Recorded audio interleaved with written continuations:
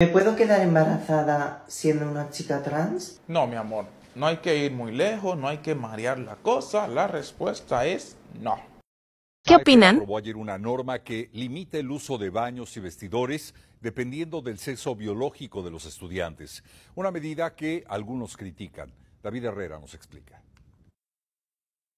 Those in favor of item 6E1CS, please raise your hand. Este lunes por la noche, durante la junta de la mesa directiva del Distrito Escolar de Cypher, fue aprobada la controversial política del uso de baños y vestidores que obliga a los estudiantes a utilizar el que les corresponde de acuerdo con su sexo biológico. Está bien, o sea que las los, el baño de mujeres pertenece al de mujeres y el de los hombres a hombres, porque a veces las mujeres pues tienen, y como niños tienen su intimidad y quieren tener su propio baño. Los hombres necesito estar con los hombres y las mujeres no, son separados. This new facilities policy creates the impression that the policy is needed.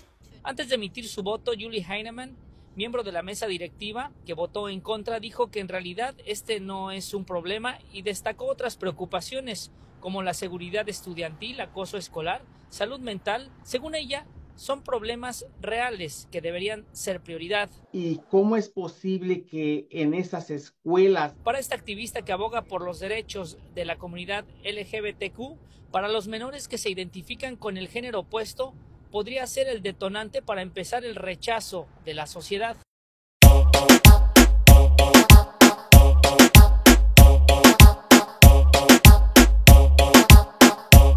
¿Pero qué ocultan? Porque lo gay aún se ve. ¿Un sugar o qué? Tampoco. Es que los sugar son para la gente que nunca ha tenido nada. Son para esas florecitas de barranco que les tocó la vida difícil. Yo pues tuve una vida digna toda la vida. No sé lo que es que me corran por no pagar un alquiler. No sé lo que es ir a la escuela con zapatos rotos. No sé lo que es pasar hambre. Bendito Dios, ¿verdad? He tenido unos papás que se fajaron trabajando. Quizás sus comentarios a mucha gente no le queden el zapato. ¿Por qué? Porque la mayoría, en su mayoría, muchos atravesamos todo lo contrario a lo que usted atravesó. Y no, y no está mal. Vamos de casos a casos. Si usted puede escalar de nivel cogiendo con 20, es su cuca, es su vida, es su problema. Hágalo. Pero no venga a darse por decir, no, yo trabajo a puro esfuerzo. Entre las cuatro aquí me voy. Ay, por Dios. Aquí todos nos conocemos, hombre. Eso es lo que molesta. Aquí todos nos conocemos. Pero pues cada quien, cada quien se engaña como quiere. Y si la gente es feliz así, pues es su problema. Pero para mí es más digno subir trabajando. Ok, los woke en Estados Unidos están saliendo de control. Ella es Cory Burke, esposa de la activista trans Samantha Lake. Pues así como la ven, resulta que a raíz de que Trump ganó las elecciones, ella tomó un hacha y eliminó a su padre. No conforme con eso, la policía la encontró sonriendo y aplaudiendo y confesó que lo hizo como un acto de liberación. Podríamos decir que esta fue otra locura woke. Saben, entre más lo pienso, no entiendo la correlación que hizo entre eliminar a su padre, que ya era un señor grande, y un acto de liberación. Y desgraciadamente esto pasa. Con la victoria de Trump, los woke se quitaron la máscara y mostraron qué tan radicales y peligrosos pueden llegar a ser. Él es Anthony Nepeg, militante radical izquierda que eliminó a su exnovia, a su esposa y a sus dos hijos para luego pegarse un tiro, solo porque ganó Trump. Por si tenían dudas de sus razones, él escribió en sus redes sociales, mi salud mental no puede coexistir en un mundo gobernado por Trump. Bueno fuera que se hubiera ido solo, pero se llevó a dos niños inocentes. Y bueno, ¿qué opinan? Me vuelve loco el Che Guevara. Siempre presente. ¿Está bien que el Che era totalmente anti- anti-gay? Los odiaba. Como toda la sociedad.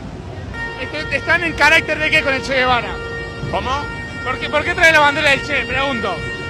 Porque era un revolucionario. Revolucionario. ¿Pero no es contradictorio en una marcha gay? En Con las este cosas que decían no. los gays.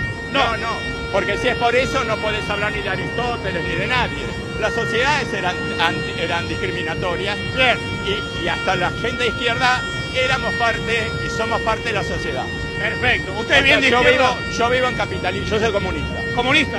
Yo vivo en el capitalismo y no me puedo escapar de eso. ¿Y no le gustaría ir a un país comunista, por ejemplo? Eso es una pelotudez de la gente derecha. No, no pregunto yo. No hay ningún país comunista porque el comunismo no se puede construir en un solo país, es una cosa internacional. Puede haber socialismo. Ah, bueno.